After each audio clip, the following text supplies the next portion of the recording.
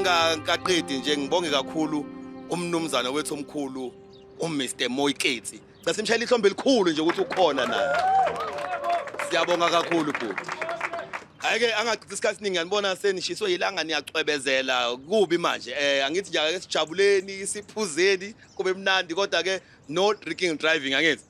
Asifuni nje kusasipha sibone emaphepheni lutho lutho. Eh band banikeza into yabo